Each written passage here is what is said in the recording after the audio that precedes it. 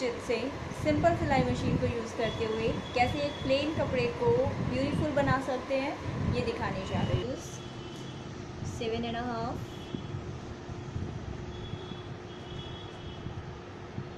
chest into four minus half inch सात inch हमने आम हो लिया चौदह. Length one inches chest into 4 plus 1 inch waist into 4 plus 1 inch और hip into 4 plus 1 inch तो थोड़ा सा अंदर कर दिया हमने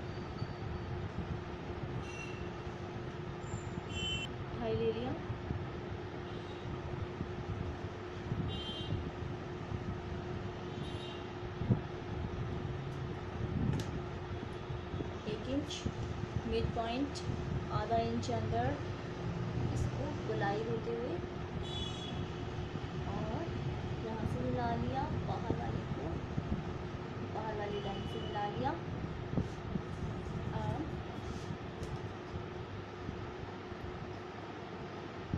चेस्ट और ये एक इंच यहाँ से मिला लिया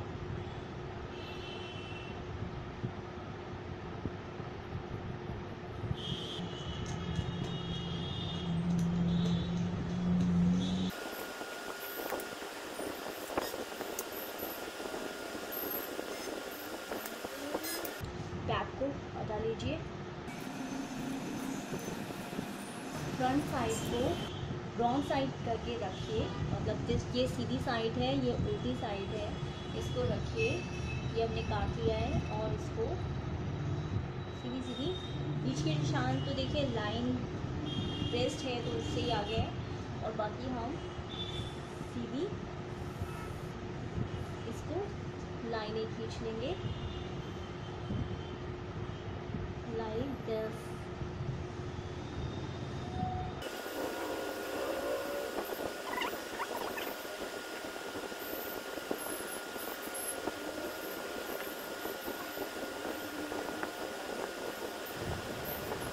ये का धागा मार्केट में इजीली अवेलेबल होता है जिसको हम बॉबिन केस के अंदर भर लेंगे अब इसको बॉबिन केस में जब हमने धागा भर लिया तो इसको जस्ट नॉर्मल यदि आपका एंकर थ्रेड इसमें से ना निकले तो जैसे मैंने आपको इलास्टिक वाले ट्यूटोरियल में बताया था, आप इस बड़े वाले पेज को हल्का सा यूज़ कर लें।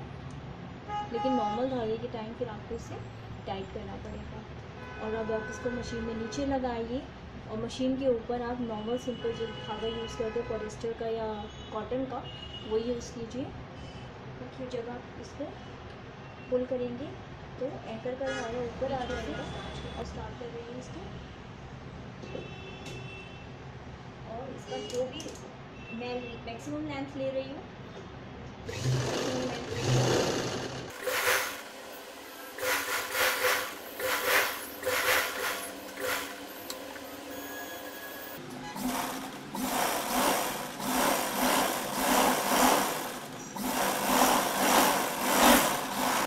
यदि कप- छोल आ रहे हो, क्योंकि हमने वाइडेस्ट थ्रेड लिया है। तो आप इसको साथ साथ इवन करते जाएँ। यदि आपका धागा बीच में ख़त्म हो जाए तो आप दूसरा धागा स्टार्ट कर दीजिए, या तो पूरा धागा उधेड़ लीजिए पर इट्स बेटर कि आप दूसरा धागा यहीं से स्टार्ट करके इसे, इसको clearly nicely point to point मिलाकर। यहाँ पर हल्का सा फैब्रिक ग्लू लगा दीजिए। तो ये एक दूसरे में मर्ज हो जाएगा और ये पता नहीं चलेगा कि आपका पॉइंट कहाँ से मिल रहा है। फ्रंट साइड इज़ रेडी अब हम शोल्डर सेवन है, जो कि हमने साढ़े सात लिए हैं। तो हमने मैक्सिमम इसको लेने के लिए करीबन साढ़े सात ही हमने ये विथ ले लिए नेक की। और यहाँ से भी नेक साढ़े सात ले लिया है। यहाँ से हमने साढ़े आठ ले लिया है लंबाई में। वैसे हमारा जो गला है, वो है ढाई एंड तीन। तो ये हमारा गला होगा इस तरीके से। और हम इसको इस तरीके से कर देंगे। लेकिन यहाँ पर हम ये ऐसे कर दिया। इसमें मैंने आधा इंच ऑलरेडी ऐड कर लिया है। तो आप जितना लेना चाहते हैं, उसके हिसाब से आधा इंच ऐड कर ले। And now you cut it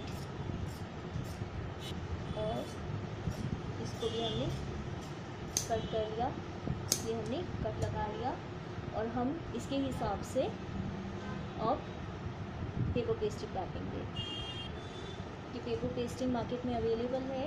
एक साइड प्लास्टिक टाइप की शीट होती है और एक साइड सिंपल शीट होती है। हमने इसको रखा और हम इसको इस तरीके से रखकर हम इसको आयरन कर लेंगे। प्रेस करते हुए स्टीमिंग ऑफ़ रखें और ड्राई आयरन से ही इसको प्रेस करें।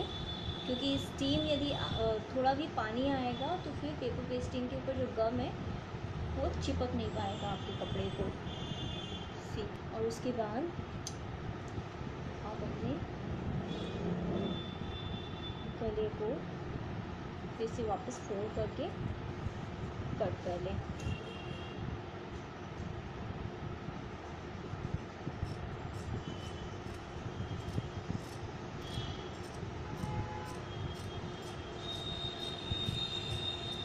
अब हम पेस्टिंग वाली सारी निशान लगा लेंगे। हमें जैसे निशान लगाने हैं, हमें जिस तरीके का डिज़ाइन चाहिए, हम वैसे ही निशान लगा लेंगे।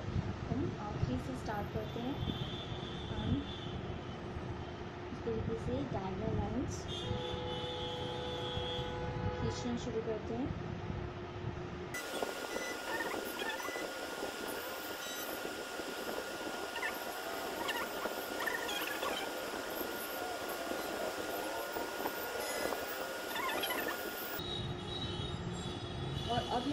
लाइनों के ऊपर, जैसे हमने एंकर थ्रेड अपने front part front bodies part के ऊपर चलाया था, इसी तरीके से ऐसे ही एंकर की सीधी सीधी लाइनें इसके ऊपर भी खींच लेंगे अब आप पेपर पेस्टिंग वाली साइड जहाँ पर आपने निशान लगाए हैं, नीचे आपने एंकर धागा लगाया है, और सिंपल धागा लगाया है, जो आप यूज़ करते हैं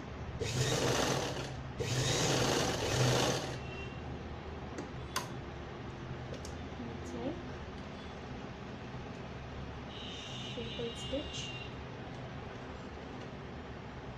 आपकी मशीन की सिंपल लॉन्ग स्टिच से आप इस तरीके से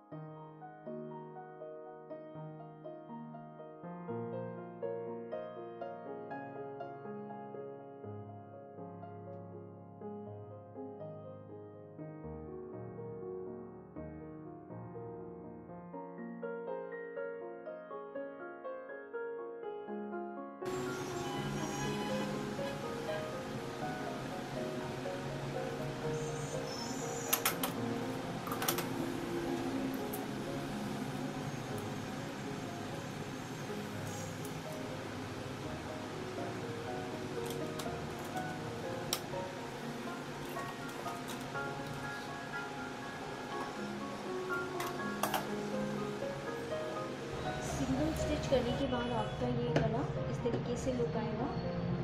और इसके ऊपर आप चाहें तो आस पास करके सिंगल स्टिच भी दे, दे सकते हैं। अदरवाइज़ हम यहाँ पर डबल स्टिच देते हैं हमारा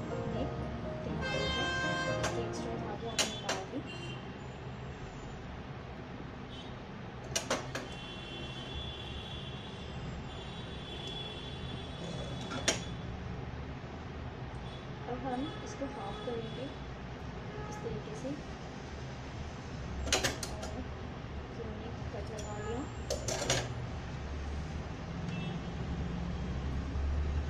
ढाई नाप लेंगे।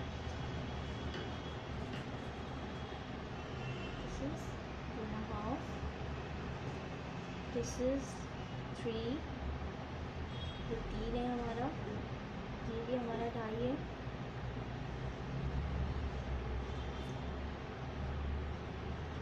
और ये हमने गला टोटल गले की लंबाई पाँच ली थी, जो कि हम साढ़े पाँच लेंगे आधा इंच नेक के अंदर तब जाएगा और हम इसको इस तरीके से this is our round neck with a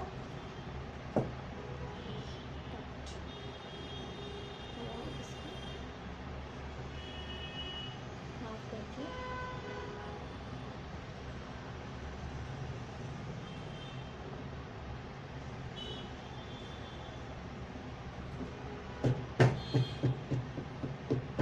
press कर लेंगे।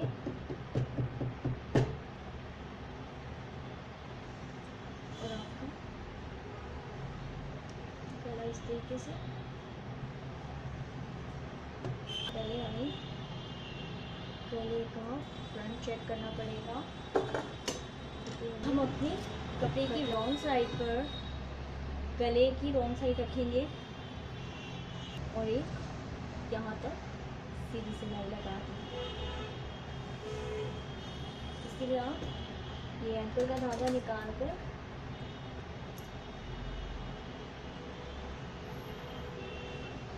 सिंपल धागा डाल दीजिए। पॉलिएस्टर कॉटन जो भी आप यूज़ करते हैं सिंपल धागा डालकर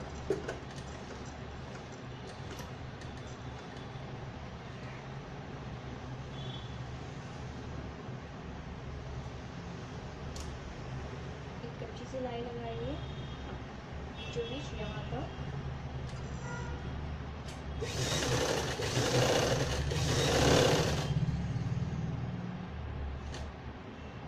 और फिर नॉर्मल सिलाई पर करके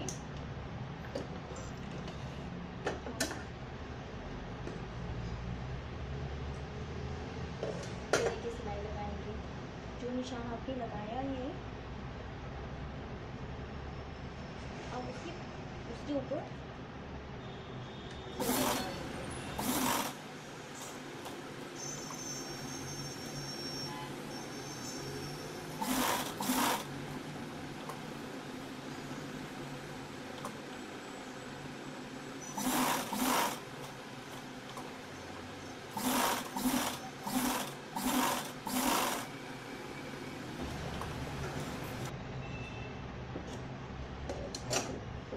जो आपने सिलाई लगाई है उसको बचाते हुए आप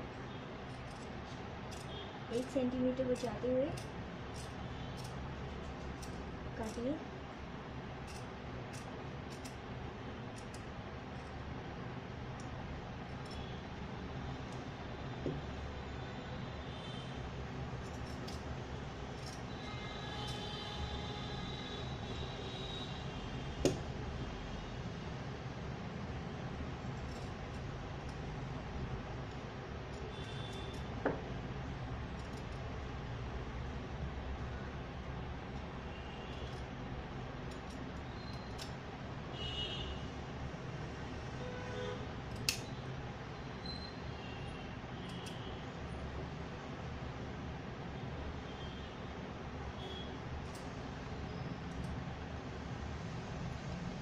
जितने कर्व है कर दे दीजिए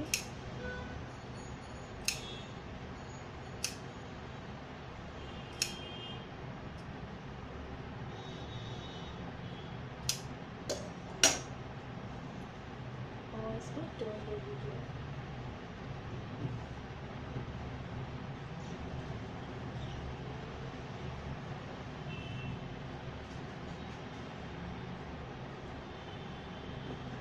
अब प्रॉब्लम ये है कि हमने इसको गोल गला बनाया था विदाउट कट लेकिन ये ऐसा बन गया। ऑलमोस्ट पाँच शेप तो हम इसको, ये जो है, अंदर अंदर डाल के किसी नुकीली चीज़ से इसको शेप दे देंगे। यदि शेप नहीं आ रही है तो हम कट को प्रोमिनेंट बना देंगे। सिलाई को इस तरीके से सीप हमारा कट बन गया है। यहाँ हमारा कट प्रोमिनेंट नहीं आ रहा इसका मतलब ये जो कट है, यह थोड़ी क्रॉप कर देने की ज़रूरत है।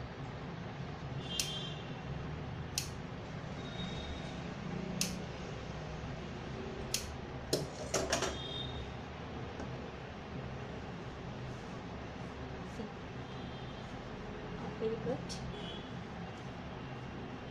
सीधा आ गया आप प्रेस से इसको अंदर की तरफ़ फोल्ड करते हुए थोड़ा थोड़ा जैसे अपनी पसंद की शेप में यहाँ से मैंने फोल्डिंग किया है। और इसको स्ट्रेट से लाइन कर दीजिए।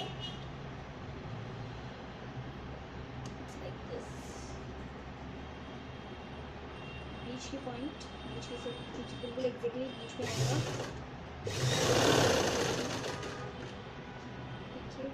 May I know?